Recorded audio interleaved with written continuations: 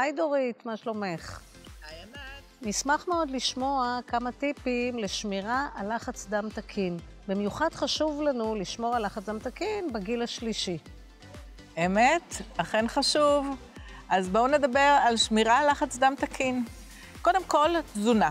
חשוב לשמור על תזונה נכונה, דלה מאוד בפחמימות וסוכרים, ועשירה בירקות ירוקים, בעיקר.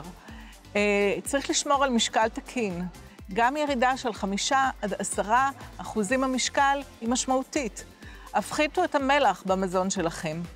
אה, עשו את זאת על ידי צמצום אה, בלטילת שימורים, חטיפים, מאפים וכל מיני תערובות מוכנות של תבלינים שהם עשירים במלח.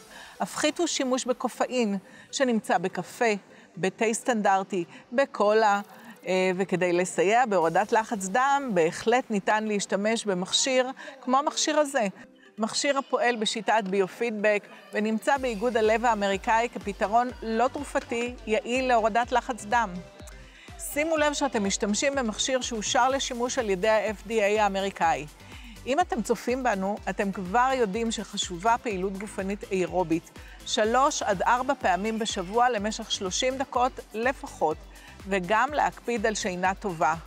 ולמעשנים בינינו, פשוט הפסיקו. זהו, ענת, אה, טיפים לא מסובכים שמבטיחים אורח חיים בריא יותר. טיפים בהחלט מצוינים.